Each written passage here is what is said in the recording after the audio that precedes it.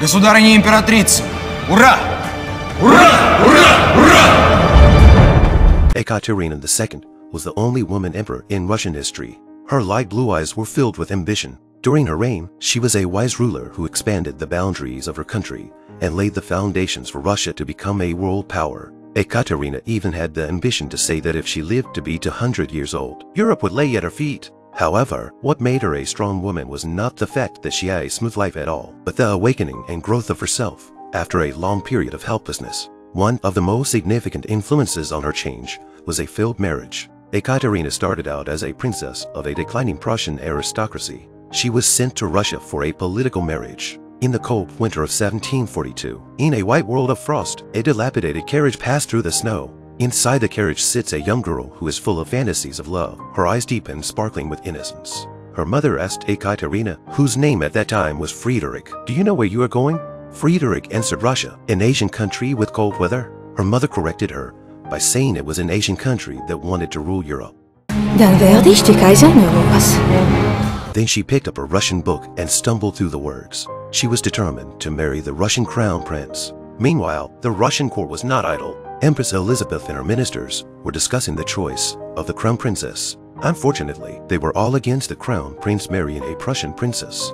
The long journey brought them discomfort, and the girl's mother complained about the lack of a pie. Friedrich calmed her down and whistled to stop the galloping carriage. The horses are suddenly frightened and run wildly, causing the wheels to hit a tree branch and tip over. In the midst of the icy snow, a handsome man appeared before Friedrich's eyes like an angel with a halo of light. Mama, das ist er, der Prinz. Friedrich fell in love with him at first sight and mistook him for her fiancé. Then, he carried the princess of Prussia step by step over the snow towards the hut. The girl felt the warmth of this man's embrace and thought she was about to marry love. But the man's introduction shattered her dreams. It turned out that Saltykov was not the prince she had fantasized about, but a chamberlain sent by the queen to receive her. This meant that her three-second love affair was over. Friedrich felt heartbroken. Well, teenage love can come and go quickly. After a short rest and adjustment, Friedrich had come to terms with the situation. She began to ask Saltykov how she could win the prince's heart. Понравится не ему, Кому? Елизавете Петровне. Why doesn't she need to impress her fiancé? As the girl pondered, the carriage entered the palace. The dominant woman walking towards us is Elizabeth, the Empress of Russia. She was a ruthless and powerful woman, but she was never married and never had any children. So she chose her sister's son, Peter, as the heir to the Russian throne. But Peter was what the Empress called a neurotic idiot. He was always doing stupid things because he was the heir. On this day, when he went to see the Empress, he brought the hounds into her room. Despite the no-dog rule, Ты изволил явиться ко мне с собаками? Король Фридрих в торжественные минуты шествует в сопровождении собак. The only reason he's been promoting the German king on Russian soil is because he admires Frederick the Great. Elizabeth was furious at her nephew's stupidity, but Peter, as if he didn't notice her anger, continued to irritate his aunt. Когда я стану императором, я переменю русскую жизнь. Я запрещу неправильные традиции и установлю правильные. What an idiotic and ignorant thing to say in front of the current empress. To show Peter what she's capable of, Elizabeth took him to a prison on the border. Looking at the bloody prisoners at the cell doors and listening to his aunt's harsh words, Peter became weak in the knees and couldn't keep his temper any longer. He immediately apologized to his aunt and promised to listen to her. Not wanting to let him off the hook, Elizabeth took her to visit the boy in prison.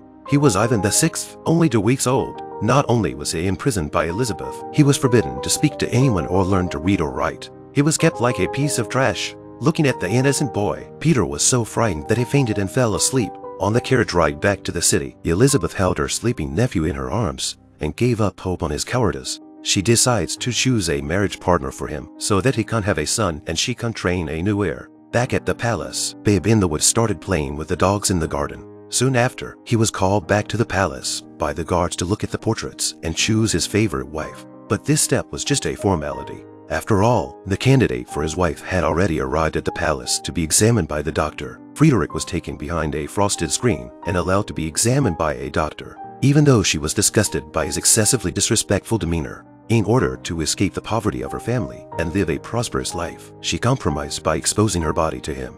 The final result of her physical examination was a clean bill of health. After the doctor finished her report, her gala reception was about to begin. The princess of Prussia walked slowly towards Empress Elizabeth with a stiff smile on her face. She crouched down with her skirt in her hands and bowed down respectfully. Empress Elizabeth rose and came to them. She looked carefully at the wife she had chosen for the crown prince. She extends her right hand affectionately to the girl as a sign of her love and support for Friedrich. Without saying a word, she broke through all the talk and suspicion of Friedrich's status. The wise Friedrich understood the Empress' kindness. After kissing the back of her hand, she sends her greetings in Russian, a language she has practiced all along. Elizabeth is pleasantly surprised by her behavior. Friedrich, who is both smart and sensitive, sees the opportunity to please the Empress with a remark.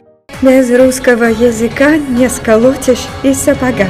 Elizabeth laughed at the compliment. Instantly, the entire royal ballroom erupted in laughter. No one knew why they were laughing, but they could never go wrong by following the Empress' behavior. Friedrich had successfully won the Empress' favor, and a blind date with Peter was on the agenda. She spent the night preparing the topics of conversation for the date and was looking forward to the perfect date with Peter. The next day, under the warm afternoon sun, Friedrich meets the prince she has been longing for. However, Peter's attitude seems to be the opposite of hers. He is extremely cold and resistant. Only when Friedrich takes the initiative can she get closer to him. As the saying goes, beauty is in the eye of the beholder. Friedrich saw him through rose-colored glasses. All his neurotic quirks became symbols of his personality in her eyes. The innocent girl is also willing to compromise for love and play with her fiancé. After the couple's first date, Friedrich danced in the hallway with excitement. Looking at Peter the Great's portrait on the wall, she was also in the mood to imitate his movements. Perhaps fate had chosen a path for her to follow. It was Peter's attitude that sent chills down her spine. Польская принцесса мне понравилась больше. Фредерика? Ну какая из нее принцесса? Просто смешная девчонка. Meanwhile, someone was secretly plotting to sabotage their marriage. This was at a time when Prussia was rising fast. Britain and France wanted Russia to go to war with Prussia, but the two countries chose to marry. This directly harmed the interests of Britain and France. The French ambassador was on the spot and said angrily that Friedrich must die or disappear. In any case, he had to break up the marriage. So they quietly found a Russian doctor and paid him 50,000 ikis a year to work for France. Then they handed the doctor a bottle of chronic poison. The doctor happily accepted the arrangement. C'est un poison rapide Bien sûr que non. Il faut en tout trois doses. This means that the murder plan was urgent. The doctor had to poison Friedrich before she got married. So the doctor found her maid of honor in the night and deliberately used love to blind her. He promised her that after she poisoned Friedrich, he'd run away with her and live like a married couple. Then he pulled out the poison given to him by the French ambassador. The lady in waiting picked it up without a second thought. A conspiracy to kill the prince's fiancée is underway.